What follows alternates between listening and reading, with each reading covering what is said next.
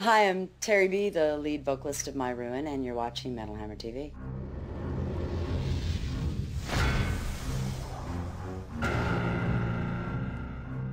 This is the art of screaming. There's nothing sacred here.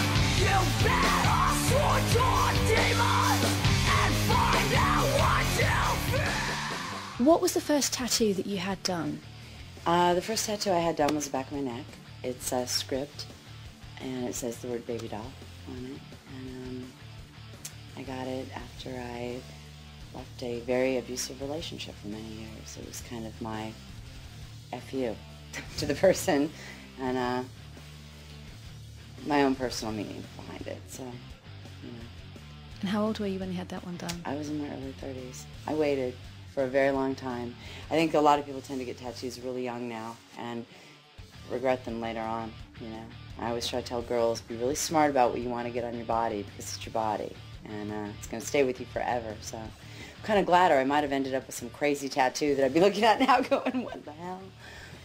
Do was it sort of strange waiting that long? Was it something you'd always wanted to do? No, it really wasn't. It was, um, you know, a lot of my friends were tattooed. Every, it- you know, now it's become a really big trend to have tattoos. And for me, you know, a lot of people would always say to me, why don't you get a done? And I was like, yeah, I'm just not really feeling it. You know, I wasn't feeling it. And then one day, when something happened in my life that gave me a reason to do it, I felt, you know, it was a release for me. I went and did it on spur of the moment and said, you know what?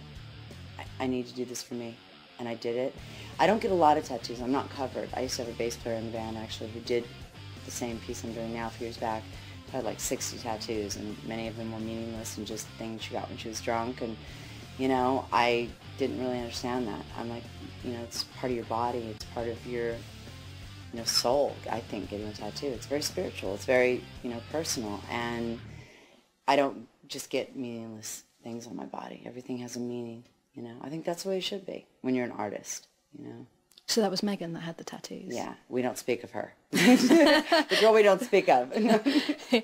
So what what's your favourite tattoo?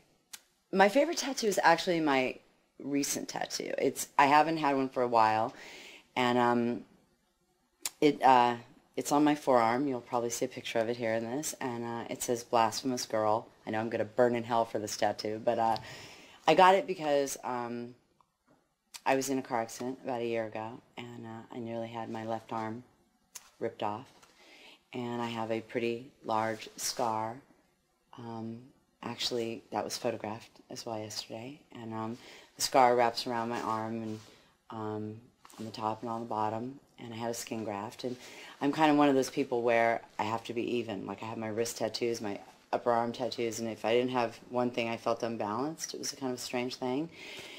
So, um, you know, I felt like I needed something here, and it was just something that I have a clothing line I do. I deconstruct a clothing line, and um, Blasphemous Girl Designs. It's kind of my little tag and my little trademark. And um, I just felt like doing it one day, and I had it in script put here, and kind of goes with this and represents who I am, you know? So talking about the scar that you've been left with, the car accident, were you not tempted to tattoo over that? Well, I mean, honestly, you know, my, my arm is very numb, and I'm just now starting to get the nerves back. They said it comes back through time. I mean, it took me a long time to even move my hand. I couldn't even, for a long time, I was a claw for a while. When I was, when you see the DVD on the album, you'll see I was recording, and I still had it in a claw for half of it. And um, it, uh, they told me I could eventually tattoo over it, but right now I don't think I could really do that. I don't, even though it's numb, it's kind of a frightening feeling. I don't know. I mean, maybe one day I'll get something over it. But, you know, I've kind of talked about scars my whole life, you know. I sing about them, I write about them. They're always internal scars. You know, they're not really literal on the outside. And all of a sudden I have a really literal, huge scar. And it's like, it's my war wound, you know. I don't know that I want to tattoo it right now. I don't know that I ever will, you know. Which tattoo is it actually uh, gone across? It no, it didn't. It's it. I have a tattoo up here, but it missed it. It went. Um, it hasn't touched a tattoo yet. What about the large piece on your back? What's all that about? Um, the large piece on my back is actually praying hands with a banner that says a prayer under pressure. It it was kind of got um, when I recorded the prayer under pressure record back in 2000 with Mick.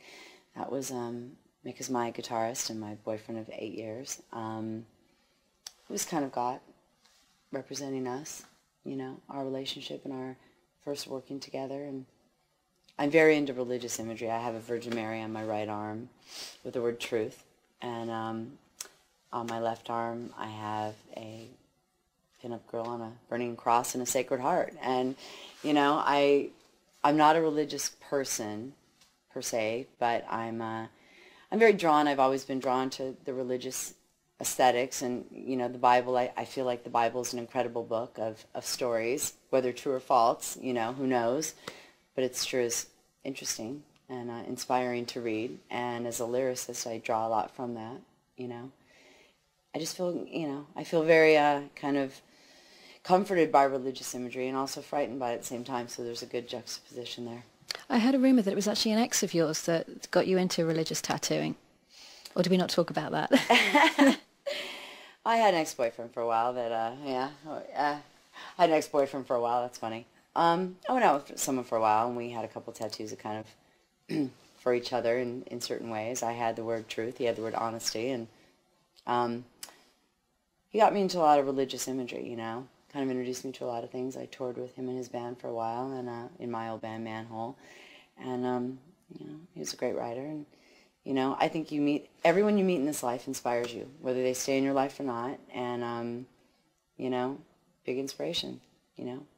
How long did that piece on your back actually take, and was it painful? Actually, no. You know what? It wasn't that painful. It was a couple hours, and my arms took about nine hours a piece. And the funniest thing was, these are my least painful tattoos.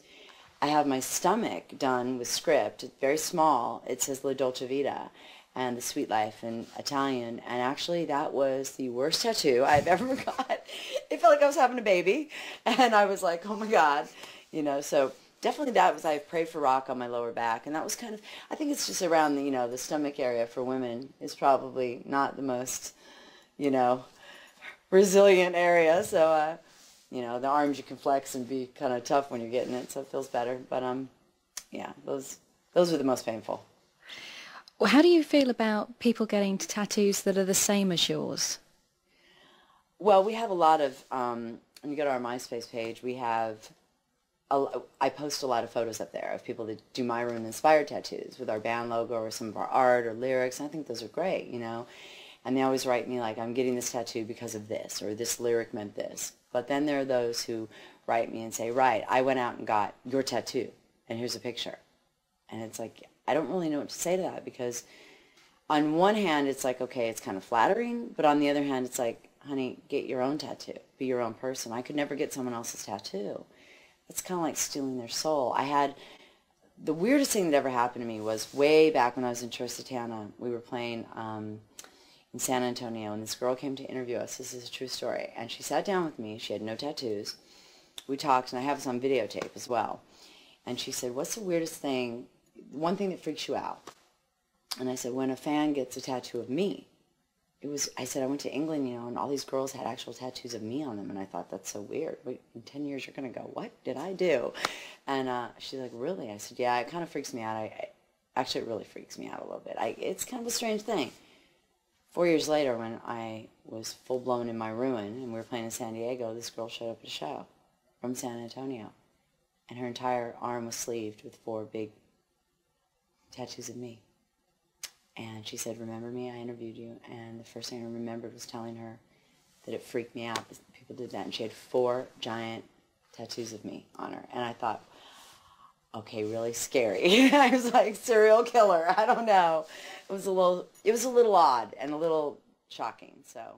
It's time to face your mirror and find the one.